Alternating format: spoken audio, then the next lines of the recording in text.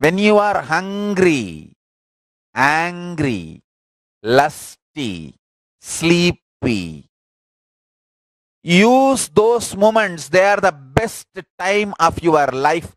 Vibrate yourself with MahaVakya.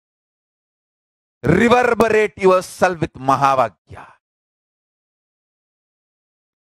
All the old dirty patterns, words with which you tied your consciousness and DNA unconsciously, abusively, all that will be released. You will be detoxed. Now, the super conscious MahaVakya will just connect your consciousness and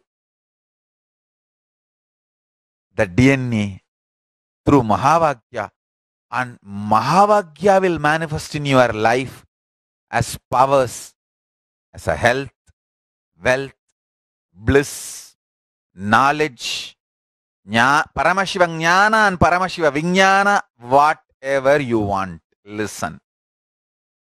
When you are hungry, see how the consciousness is reacting over the DNA.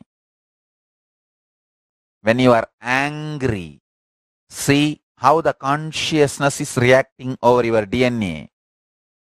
When you are lusty, see how consciousness is reacting over your DNA. When you are sleepy, see how consciousness is reacting over DNA. Use all these four situations and vibrate intense MahaVakya.